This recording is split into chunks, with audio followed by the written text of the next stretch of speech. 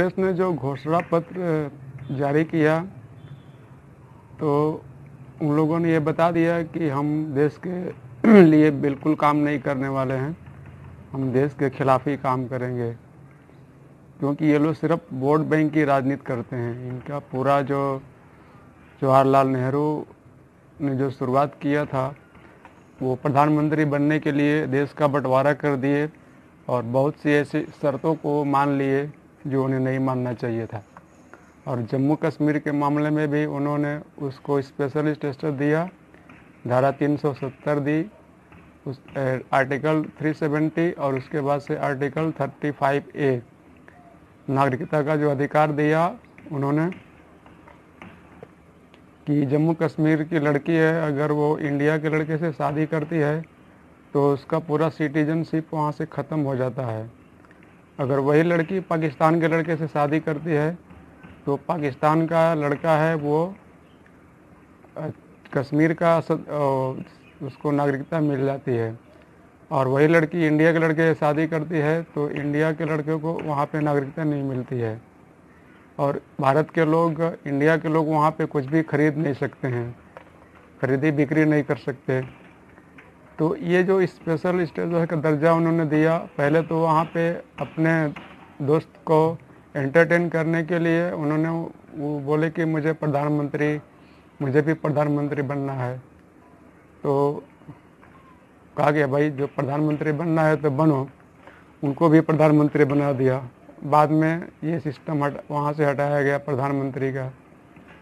फिर वापस ये कह रहे हैं उमर अब्दुल्ला कि वापस हम चाहते हैं कि हम यहाँ पे प्रधानमंत्री बने।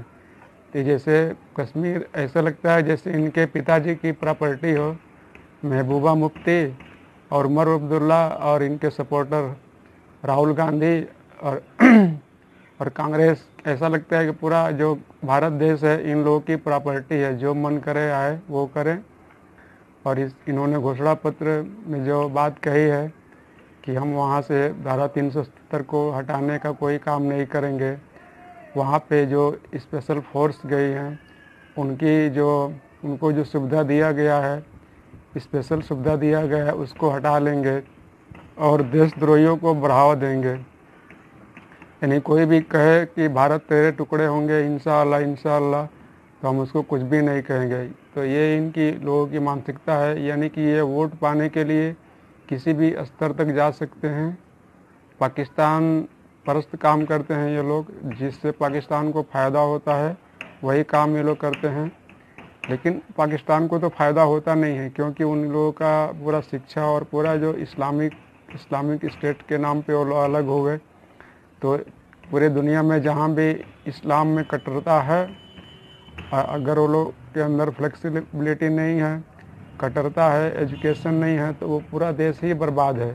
चाहे तो जिन लोगों ने आधुनिकता को समझा और भारत के जो नरम पंथ है या सनातन धर्म को जो जिन लोगों ने समझा, कोई भी दुनिया जब इस थ्योरी को फॉलो करती है तो प्रोग्रेस करती है। लेकिन जो कट्टर इस्लामी विचारधारा वाले लोग हैं या जो कंट्री है, वो प्रोग्रेस नहीं करेंगी। और प्रोग्रेस कर भी रही होगी तो उसके पास तेल वेल है तेल बेच के कब तक उनका काम चलेगा? तेल तो ख़त्म हो जाएगा। दूसरा चीज़, दूसरे जगह वो लोग इन्वेस्टमेंट नहीं कर रहे हैं वहाँ पे बहुत सी कंट्री है जहाँ पे अनाज नहीं होती है। भारत में तो सब कुछ होता है। ये जो कांग्रेस ने घोषणा पत्र जारी किया है कि देशद्रोहियों को हम एकदम खुला छोड़ दे देंगे, कोई भी कहीं भी गोरखपुर में चाहे लखनऊ में, चाहे दिल्ली के जेएनयू में चाहे बम्बई में कहीं कोई भी कुछ भी कहे, भारत तेरे टुकड़े होंगे इंशाल्लाह इंशाल्लाह तो उसको कुछ नहीं कहेंगे हम। तो ऐसा इन लोगों ने ये घोषणा पत्र बनाया है। और भारत की जो इकनॉमी को इतना मेहनत से आगे लाया गया है, उसको ये वापस पीछे लेके जाना चाहते हैं, क्योंकि इन लोगों ने कांग्रेस के लीडर और कांग्रेस पार्टी ने 2004 से 2010 14 के बीच 10 साल में मनमोहन सिंह जब प्रधानमंत्री थे तो पूरा देश के इज़्ज़त की वाट लगा दिया इन लोगों ने। प्रधानमंत्री मनमोहन सिंह को नवाज़ शरीफ अमेरिका में जाके कहते हैं कि ये तो देहाती महिला की तरह दिखते हैं। तो उसका विरोध नरेंद्र मोदी जी करते हैं, कहते हैं कि नवाज़ शरीफ, तुम जवान संभाल के बात करो, तुम भारत के प्रधानमंत्री को इस तरह नहीं कह सकते हो। लेकिन जब से नरेंद्र मोदी प्रधानमंत्री बने तो इन्होंने दिखा दिया कि छप्पन इंच का सीना क्या होता है, या भारत के प्रधानमंत्री की ताकत क्या होती है। तो ये लोग कांग्रेस का देश से कुछ भी लेना देना नहीं है। ये लोग सिर्फ़ और सिर्फ़ वोट बैंक के लिए कुछ भी कर सकते हैं, किसी को भी गिरवी रख सकते हैं। अब ये वापस कह रहे हैं कि धारा 370 के साथ हम छेड़छाड़ नहीं करेंगे। जबकि भाजपा का मेन जो लक्ष्य है, वो कश्मीर में सामान्य हालत करना, कश्मीरी पंडितों को वहाँ पे बसाना, लेकिन कांग्रेस के घोषणा पत्र में बिल्कुल नहीं है, कश्मीरी पंडितों का नाम तक नहीं लिया गया है। और ये राहुल गांधी जाके अपना गोत्र बताते फिर रहे हैं कि हम भी पंडित है, हमारा फलाना गोत्र है, ठिकाना गोत्र है। ये कौन सा गोत्र है इनका कि जो कश्मीरी पंडितों की बात तक नहीं करते हैं?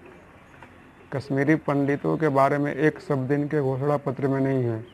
कश्मीर में इनके जो रिश्तेदार हैं, सब रिश्तेदारों को ये बचाने के चक्कर में हैं और वो इनके रिश्तेदार लोग ही वहाँ पे हमेशा राज करें, प्रधानमंत्री बने। इन्होंने उन्नीस सौ चौवन में जो 35 ए का घटिया जो धारा वहाँ पे लगवा दिया, आर्टिकल आर्डिनेंस पास करवा के उसको ये लोग हटाने के चक्कर में बिल्कुल नहीं है। और उसकी वजह से कश्मीर में ये समस्या है धारा 370 आर्टिकल 370 और 35 ए की वजह से। उसके बारे में ये लोग कहते हैं कि वैसे ही रहने देंगे और देश देशद्रोह कोई कहीं भी कुछ भी कर, कहे देश देश द्रोह की बात करे देश को गाली दे देश मुर्दाबाद कहे इंडिया मुर्दाबाद कहे तो भी ये कुछ नहीं, ऐसा नियम बनाना ये लोग चाहते हैं, घोषणा पत्र में। और इसमें जो इसको सेना को जो अधिकार वहाँ पे मिला है, उस अधिकार को ये लोग वहाँ पे कम करना चाहते हैं। सेना की संख्या को वहाँ पे ये लोग कम करना चाहते हैं। और 2004 से लेकर 2014 तक इन लोगों ने जिस तरह देश की अर्थव्यवस्था को चौपट कर दिया, सैकड़ों भ्रष्टाचार का काम किए और जब प्रधानमंत्री मनमोहन सिंह से पूछा जाता है कि ये इस तरह का घटवाला घोटाला क्यों होता है, हो रहा है तो कहते थे कि ये सब तो चलता है, इसमें क्या है? तो वो इस तरह की जिस, जिन लोगों की मानसिकता है, वो लोग क्या देश के, देश को चलाएँगे? अगर इनको वोट दिया गया और ये लोग जीत जाएँगे तो देश को बर्बाद करके रख देंगे। इनका मेन लक्ष्य है कि किसी तरह सत्ता में आ जाए और हम लोगों ने जो करोड़ों अरबों रुपए घोटाला करके रखे हैं, विदेशी बैंकों में जमा करके रखे हैं, हमारे ऊपर जो, इनके ऊपर जो केस फाइले हुई हैं और इनमें से बहुत से लोग फंसने वाले हैं और जेल जाने वाले हैं तो इस वजह से ये लोग किसी भी तरह से सत्ता में आना चाहते हैं ताकि ये लोग सत्ता में बने रहें और इनके ऊपर कार्रवाई ना हो। तो दोस्तों, इनका घोषणा पत्र आप लोग पढ़िए और देखिए कितना खतरनाक घोषणा पत्र ये लोग बनाए हैं और एक वर्ग को का तुष्टिकरण करेंगे और पूरे देश को बर्बाद कर देंगे। फिर पाकिस्तान का पक्ष, जितने पाकिस्तान प्रस्त नेता हैं, जितना पाकिस्तान का ये लोग भलाई कर सकते हैं, उतना ये लोग करने वाले हैं। जिस तरह पाकिस्तान चाहता है कि इंडिया बर्बाद हो जाए और कश्मीर में नॉर्मल जो व्यवस्था हो ना हो, धारा 370 बना रहे 35 ए बना रहे, यही बात महबूबा मुफ्ती भी कहती है और यही बात उमर अब्दुल्ला भी कहते हैं और यही बात कांग्रेस भी कहती है। तो इन लोगों में क्या फ़र्क है? और ये लोग वापस कहते हैं कि हम वहाँ उनसे बात करेंगे, अलगाववादियों से बात करेंगे, उनको दूध पिलाएँगे, उनको पैसे देंगे, उनको गाड़ियाँ देंगे और फिर वो लोग हमारे, वो, फिर वो लोग कश्मीर में बम लगाएँगे और आतंकवादी कार्रवाई करेंगे, फिर भी हम उनसे बात करेंगे। यानी एक हाथ से वो लोग खुला छोड़ दे रहे हैं कि तुम कश्मीर में जो मन करे वो करो, बम लगाओ, कुछ भी करो, फिर भी हम तुमसे बात करेंगे। तुम्हारा हम तुमसे रिक्वेस्ट करेंगे, तुम्हारी हर बात को मानेंगे, तुम कहोगे प्रधानमंत्री तो हम तुम्हें वहाँ पे प्रधानमंत्री बना देंगे, सब कुछ करेंगे। यानी कि ये वोट के लिए कुछ भी कर सकते हैं। तो दोस्तों, आप लोगों को समझना पड़ेगा कि कांग्रेस और राहुल गांधी की क्या मानसिकता है। वैसे भी राहुल गांधी की बुद्धि है, वो घुटने से ऊपर आती ही नहीं है। और सिर्फ़ वोट के लिए इनके जो गुरुजी हैं, सैम पित्रोदा, ये कहते हैं कि भारत में जो भी आतंकवादी कार्रवाई होती है, वो कुछ आतंकवादी लोग करते हैं, जबकि इसके पीछे पूरी आईएसआई वहाँ की और पूरे जो वहाँ की छुड़ा पत्र बनाया है, वह भारत को बर्बाद करने के लिए और जो पाँच साल के मेहनत से भारत ने जो पूरी दुनिया में अपने ताकत और अपनी इकनॉमी को बढ़ाया है और इसके स्तर को ऊपर उठाया है, हर क्षेत्र में रोड बन रहे हैं, पानी की टंकियाँ बन रही हैं, बाथरूम बन रहे हैं, गैस के कनेक्शन मिल रहे हैं जो दाल डेढ़ सौ, दो सौ रुपये किलो था, वो अभी साठ रुपये, पैंसठ रुपये किलो मिल रहा है। और ये लोग कह रहे हैं कि जो जीएसटी है, उसको हम एक एक एक एक तरह से हर चीज़ पे समान रूप से लगाएँगे। अब बताइए, गरीब लोग जो चावल खाते हैं, दाल खाते हैं, और इस तरह की हर चीज़ पे, यानी कि मर्सिडीज़ पे भी उतना ही टैक्स और एयर कंडीशनर पे भी उतना ही टैक्स और चावल, दाल और जितनी ज़रूरतमंद चीज़ है, चीज़ें हैं, जैसे गरीबों के लिए चप्पल है, यानी प्याज है, हर चीज़ पे लोग उतना ही टैक्स लगाना चाहते हैं। देखिए, इनकी जो मानसिक दिवालियापन है, या जो इनका इकोनॉमिक के बारे में, इनके सरकार में, इनके सरकार, इन लोगों की जब सरकार थी, तब भी दाल हमको दो सौ रुपये, एक सौ अस्सी रुपये किलो खाने पड़े। तो बाद में जब प्रधानमंत्री नरेंद्र मोदी बने तो इन्होंने पटरी इकनॉमी को पटरी पे लाया और अब दाल मिल रहे हैं साठ रुपये से सत्तर रुपये किलो। तो फिर ये लोग बात कर रहे हैं घोषणा पत्र में, इतना मतलब बकवास टाइप का घोषणा पत्र ये लोग बनाए हैं कि इसका किस तरह से कहें हम इसको। यानी कि जो जीएसटी में जो व्यवस्था हुआ है तो बहुत सी जो ज़रूरत वाली चीज़ें हैं, उनमें कम रखा गया है। जैसे दूध वगैरह हैं, उसमें है ही नहीं। चावल वगैरह जो भी, यानी गरीबों के लिए जिन वस्तुओं की ज़रूरत है, उन सब चीज़ों पे कम है या बिल्कुल ही नहीं है। और जो, जिन चीज़ों की ज़रूरत है, गरीब, अमीर लोग इस्तेमाल करते हैं, उन चीज़ों पर टैक्स ज़्यादा है या जीएसटी ज़्यादा है। लेकिन कांग्रेस का कहना है कि हम जीएसटी को हर चीज़ में एक समान करके रहेंगे, यानी कि गरीब अमीर का खाई हम मिटा देंगे।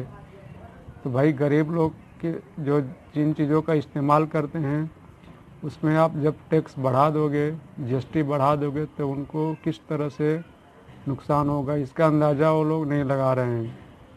तो ये लोग देखिए इसमें इनका मेन जो मकसद यही है कि किसी भी तरह से हम लोग सत्ता में आए और जो भ्रष्टाचार हमने किया है, उस भ्रष्टाचार का पोल न खोले।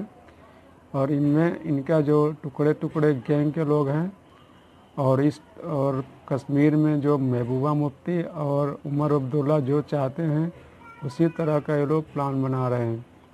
दोस्तों, इस घोषणा पत्र का अगले दूसरा एपिसोड में बनाऊँगा और इसमें बताऊँगा कि किस तरह इस घोषणा पत्र का वापस पोस्टमार्टम करेंगे। इस तरह इनका प्रचार आगे बढ़ेगा, कांग्रेस का तो इनकी जो गलती है, हम बताएँगे कि क्या क्या ये लोग गलती कर रहे हैं। दोस्तों, वीडियो अच्छा लगे तो आप लोग इसको शेयर करिए और सब्सक्राइब करिए।